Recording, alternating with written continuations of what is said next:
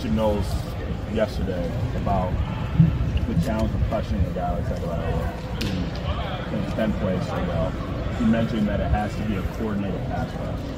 What is what is a coordinated pass rush? Uh, we can't get uh, undisciplined with our rush lanes. We know he likes to uh, scramble and make plays with his legs, so we're trying to limit that as much as possible. How much does the the film of last year, the experience of last year, help when you- when you're playing on that time? Uh, it helps a lot uh, knowing what he's going to do. Already have played him. What he did last game. We played him. Uh, it's basically the same thing. He's just more agile now. He don't got his knee brace. And, yeah.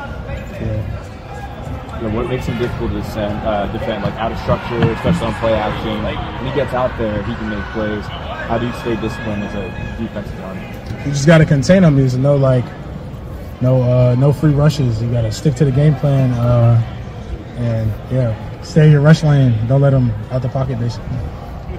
Jim Knowles talked about you yesterday and how you're playing all of these snaps, but you're still not up to the number of reps that everybody else is in terms of all the, the practice that you missed.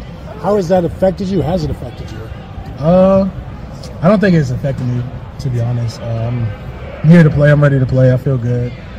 I'm, I'm good. Has it helped not actually having that that many snaps, or just no impact at all? Do you think? Uh, I guess you could say that for not as much on my body yet, but I don't think it really affects me. talking about a quarter like Taulia, you know, it's easy to say keep him keep him in the pocket, things like that. How difficult is it in practice when you get him? It. How difficult is it in practice? It's easier to say this is what we have to do, right? But then you get out there, he can make plays. You've seen it before. How, how difficult is it to keep a guy like that where you want him to be? Uh, you know, he's a great athlete, so he's gonna he's gonna make plays regardless. We just gotta try to limit them as much as we can. How do you feel like you've played the first four games of this season compared to your previous years in the last game? Uh, I think I've did more because I've had more reps, but I honestly don't think I'm nowhere near where I should be because you know my knee and all that. What do you? What did you do to earn more reps? Do you think?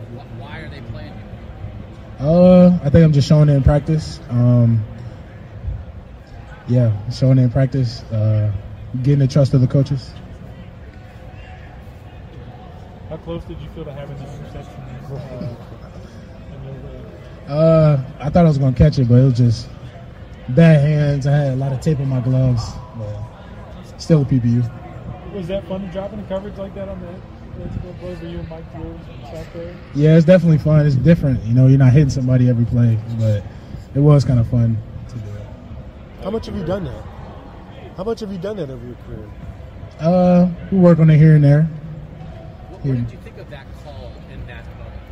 Uh, I think it was a great call. It obviously uh, caught them off guard, so forced them into a bad pass. I just got to catch it. Do you work on the, the Monarch machine at all for that? Nah, I need to. I need to get on there with Marv or some one of the receivers. Man, you're a defensive tackle. defensive tackles aren't supposed to catch that, right? I mean, it hit my hands, but I got to catch it. Tyleik, do you feel like that breakout game from Mike Hall is coming soon? Uh, and just what's it like working with him right now on the defensive line? What are you seeing? Uh, Mike is still the same Mike. You know, teams know, know what he can do now, so they're sliding to him, uh, you know, double teaming every, every play. So production is going to go down when they're keying you already. And then on that last play in this inning, and it's still had one second left, you were in the mix there uh, when they were trying to do that lateral situation.